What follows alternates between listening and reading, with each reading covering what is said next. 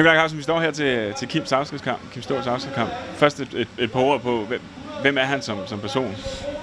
Ja, men øh, lige præcis det der med personen. Altså, han er en stor hockeyspiller og øh, forbillede for alle, i, øh, har været det i mange, mange år. Men netop hans personlighed, synes jeg, øh, er noget, der er helt særligt for, for Kim. Øh, en basse, en fin fyr, en kammerat og en, der altid har gået for os, både kan man sige, på banen, men også i omklædningsrummet udenfor. Så det er, det er en, vi alle sammen holder af, og det er også derfor, vi er her i dag.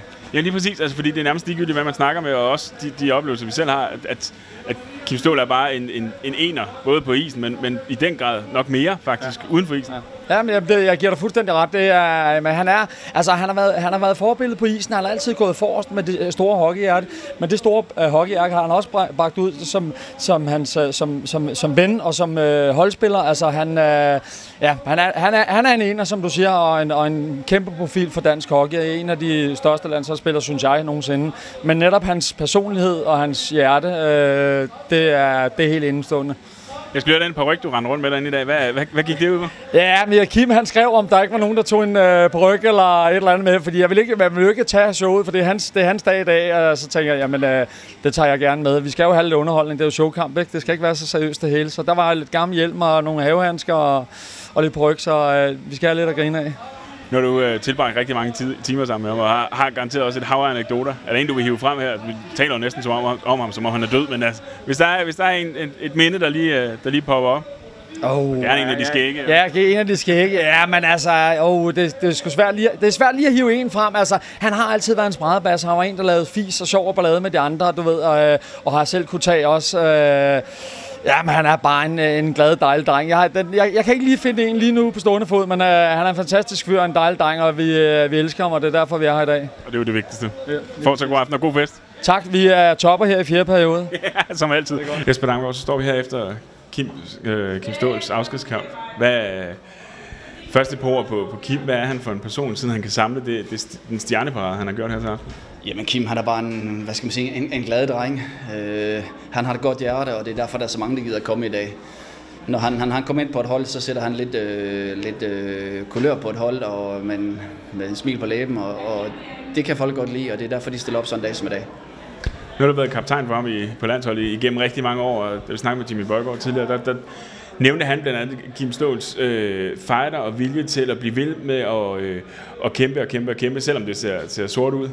Og egentlig tilskriver ham den store del af rollen til, at vi stadigvæk ligger i A-gruppen, hvor vi gør fra, fra da vi rykker op i, en gang i tidernes morgen. Er det, er det også den rolle, han fylder på isen, som han gør uden for isen?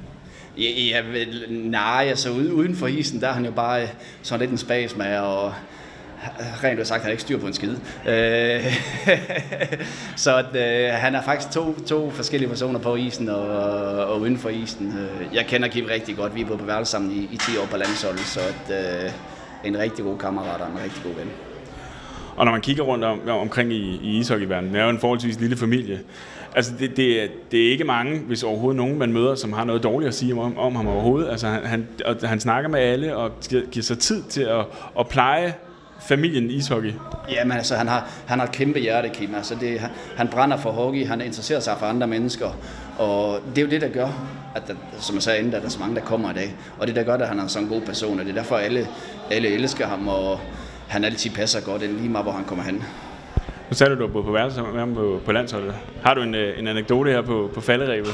Og gerne en af den lidt, lidt mere kulørte slags, som, øh, til, til vores bror? Øh, nej, altså det var ikke på værelse, men han, han boede med mig en periode, hvor jeg havde mine to børn, og han, han kom ind lige inden for hoveddøren, og så åbnede han kuffert, og så stod den der, og så tænkte jeg, jeg siger ikke noget.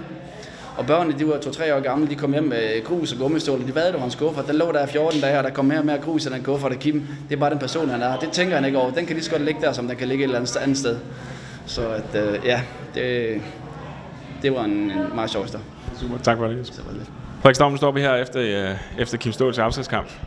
Først et par ord på, hvem, hvem er Kim Stål på, på isen? På isen er han jo bare øh, kendetegnet for, for øh, altså dansk ishockeys oprykning og, og det gode første år der i, i AVM. Altså bare en kæmpe stjerne. Øh, arbejdsmand, han kæmper stenhårdt hver, hver skift, ikke? Øh, og en kæmpe personlighed øh, ude for isen også, selvfølgelig. Ja, netop fordi hvis vi så hopper uden for isen, altså vi har ikke snakket Undskyld, vi har ikke snakket med nogen i dag, som, som ikke har sagt noget pænt. Selvfølgelig, det er alle, alle, alle sammen er her også i, i, i Kim Ståls interesse. Men det er lige meget, hvem du snakker med. Hvor, hvor er du henne i, i, i, det, i, det, i den lille ishockeyfamilie, vi har i Danmark? Alle kender Kim Stål og har noget pænt at sige om ham. Ja, men altså... Øh, altså Kims øh, positive energi og hans... Øh, altså hans smil og han, den stemning, han altid bidrager med, øh, øh, enestående. Altså der... Øh, han, er, han er et helt fantastisk menneske. Øh, som jeg tror, jeg tror at man skal opleve det, før man kan forstå det. Han er, han er helt fantastisk.